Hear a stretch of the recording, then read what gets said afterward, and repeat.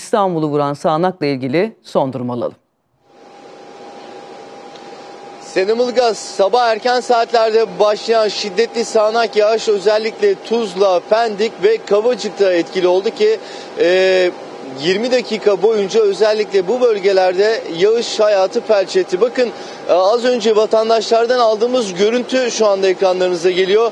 Tuzla Aydınlı Mahallesi Çayır Sokak ve su seviyesi bu sokakta işte buraya kadar ulaştı. Otomobiller vardı, arabalar vardı bu sokakta ve o arabalar yağmur suyuyla birlikte sürüklendi ve birçok evi su bastı. Şunu da söyleyelim e, Tuzla Belediyesi ekipleri burada yolu temizlemeye çalışıyorlar ve e, gerçekten kötü kokular etrafa yayılıyor bu noktada. İnsanlar bir yandan evlerini temizlemeye çalışırken diğer yandan da bodrum katını e, basan su buradaki itfaiye ekipleri tarafından tahliye edilmeye çalışılıyor.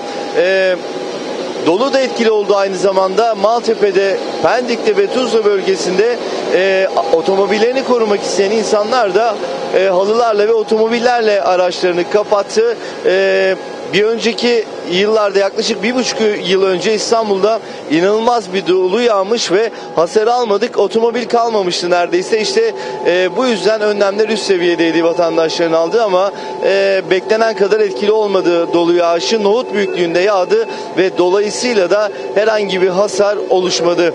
E, gök gürültülü sağanak yağıştı ki şimşekler peş peşe çakmaya başladı. Önce Çamlıca Kulesi'ne düştü hemen ardından da bizim çekim yaptığımız sokağın sadece iki sokak gerisinde bir binanın çatısına yıldırım düştü ve o çatı yıldırımın düşmesiyle birlikte bir anda alev aldı. İtfaiye geldi hemen yangını söndürdü ve binayı e, tedbir amacıyla tahliye etti. Şu anda bu sokağa tahliye işlemleri hala devam ediyor. Şiddetli yağışın belki de en çok vurduğu sokaklardan bir tanesi de burasıydı. E, şunu söyleyelim hemen yanımızda bir dere yatağı var ve dere yatağı olması sebebiyle e, şiddetli yağış en çok burada e, Çayır Sokak'ta etkili oldu ve e, su seviyesi gittikçe yükseldi. İşte insanları görüyorsunuz keskin kokudan bahsetmiştik. Rögar kapaklarının tıkalı olduğunu söyleyelim. Tabi eşyalarını son anda kurtardılar buradaki insanlar.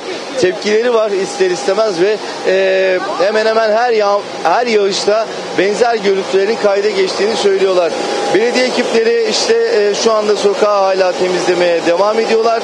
E, sabah erken saatlerde birlikte arkadaşım Gülnur Saydam'la birlikte hem Anadolu yakasında hem de Avrupa yakasında e, şiddetli yağışla ilgili ayrıntıları, detayları takip ettik ve yağışın başladığı saatlerde dışarıdaydık ve bakın İstanbul gün boyunca İstanbul'da gün boyunca e, yağış ve sağanakla ilgili nasıl görüntüler kayda geçti onu da şimdi ekrana gelecek haberimizde izliyoruz.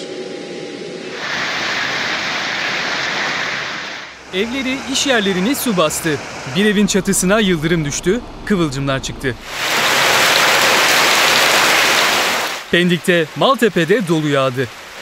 Meteorolojinin sağanak ve dolu uyarısına karşı Maltepe, Tuzla ve Pendik bölgesinde hep aynı görüntü kayda geçti. Doludan otomobillerini korumak isteyen vatandaşlar araçlarının üzerine battaniye ve halıyla örttü. İstanbul Boğazı'nı çamur bastı.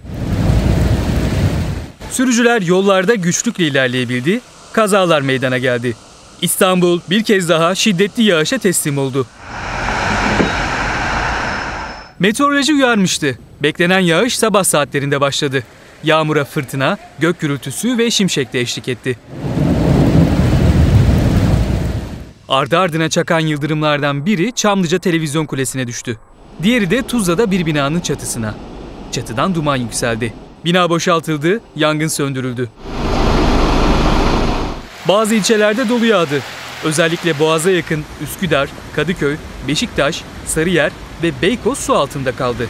Burası apartmanın garajı ve garajın ön kısmı şiddetli yağışla birlikte tamamen suyla doldu. İki otomobil içeride mahsur kaldı. İtfaiye ve belediye ekipleri şu anda o suyu tahliye etmeye çalışıyor. Anadolu Hisarı açıklarında deniz kahverengiye döndü. Caddeler, sokaklar göle döndü. Yağıştan en fazla Anadolu yakası etkilendi. Pendik Aydın mahallesinde alt geçitte mahsur kalan 6 kişiyi itfaiye kurtardı.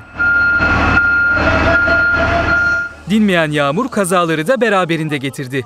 Sarıyer'de bir otobüs kaygan yolda yokuş aşağı inerken kontrolünü kaybetti. Başka bir otobüse çarptı. İki otobüsün şoförü de yaralandı. Esenyurt'ta yol çöktü. Bir taksinin ön tekerleri çöken yola saplandı. Mahsur kalan araç çekici yardımıyla kaldırıldı. Yolda diyor dümdüz yol geçerken çöktük indik aşağı. Sabah işe, okula gitmek için evlerinden çıkan İstanbullular yağmura yakalandı. Otobüs duraklarına ve metro istasyonlarının girişlerine sığındılar.